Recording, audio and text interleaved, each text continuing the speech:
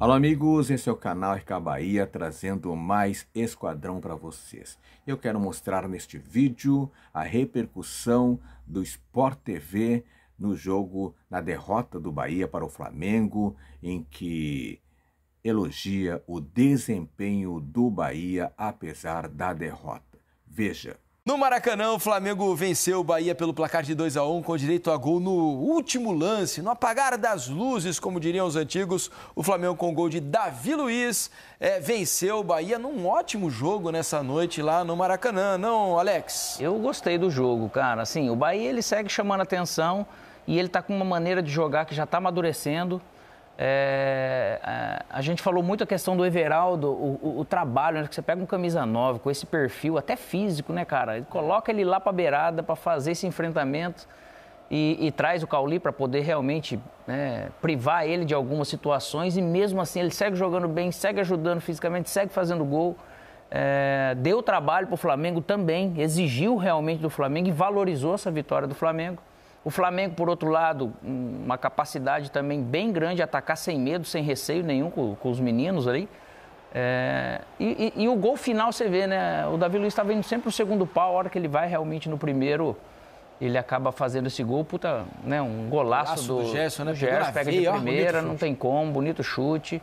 Mas foi um belo jogo, cara. Quando os times jogam sem medo de perder, é. é. Ou não é nem sem medo de perder, com vontade de ganhar, mas também reduzindo esse medo, né, Mansur? O gol do Bahia também muito bem trabalhado, Muito né, bem um trabalhado. passe vertical, lá de trás, do zagueiro. né? É, a, a bola chega no Jean Lucas, Jean Lucas, ele de primeira coloca, coloca o, Everaldo o Everaldo na cara do gol. O Ayrton é. Lucas mal posicionado, né? Normal é. do lateral tá por dentro, não deixar o atacante entrar ali no meio dele, do zagueiro, né?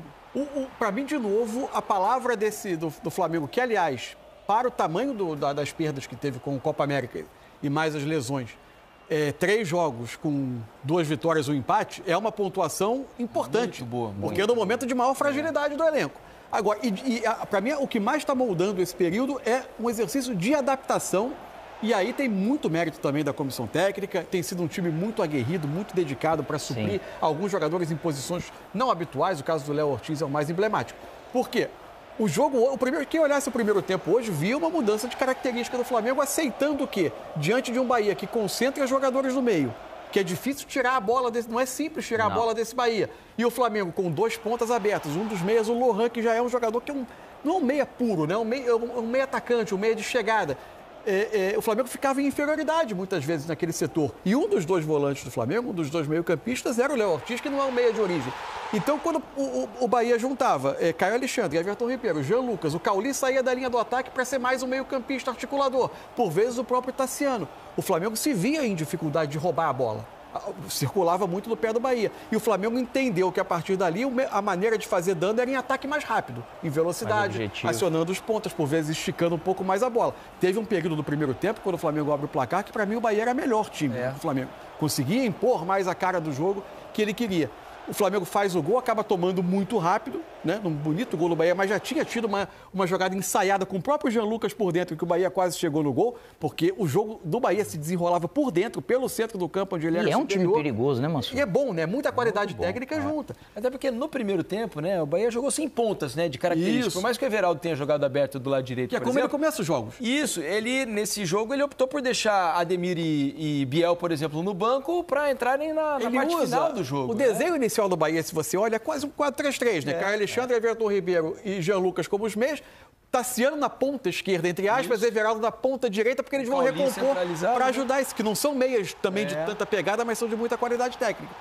Quando vem o segundo tempo, o jogo ameaça ter um pouquinho do mesmo cenário e aos poucos o Tite intervém para tentar dar um pouco mais de controle. Ele faz o Gerson ir para o lado direito, quando sai o Luiz Araújo, é, tira o Lohan, coloca né? o Alan. Coloca o Alan também, fica com o meio um pouco mais para ficar com a bola. E aos poucos o Flamengo vai entrando no campo do Bahia, o que é uma questão desse Bahia.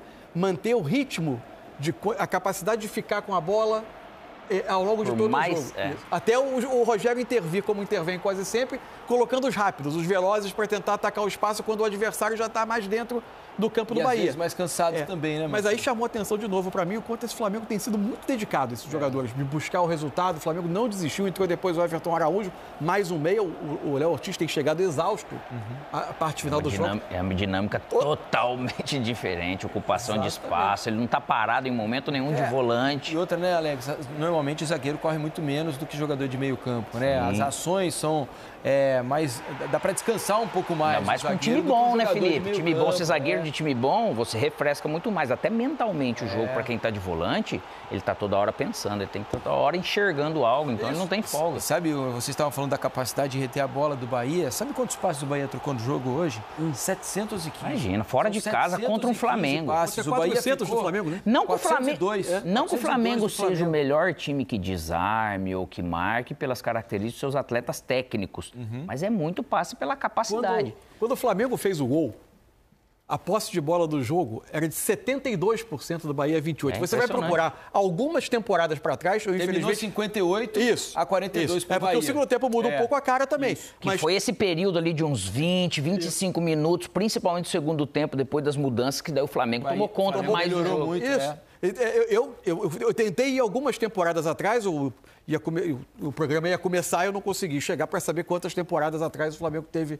é, achar um jogo do Flamengo com essa posse de bola, eu de fato não me recordo nos últimos anos. No final, assim, é cruel com o Bahia tomar o gol no último minuto? É cruel. Um a um contava o jogo, até contava, acho que razoavelmente bem o jogo. Poderia ter pendido para o lado do Bahia, mas eu acho que a vitória do Flamengo também está longe de ser um absurdo para o que foi o jogo. Foi um jogo equilibrado que podia ter pendido para qualquer um. Tá aí o pessoal do Sport TV elogiando o Bahia. Se gostou do vídeo, dá joinha, dá joinha que sempre apoia o canal. E o mais importante, meu amigo, alô torcedor do Esquadrão, te inscreve no canal. Te inscreve no canal, porque aqui no canal RK Bahia, você sabe tudo sobre o Esquadrão de Aço. A todos, muito obrigado, beijo no coração e fique com Deus.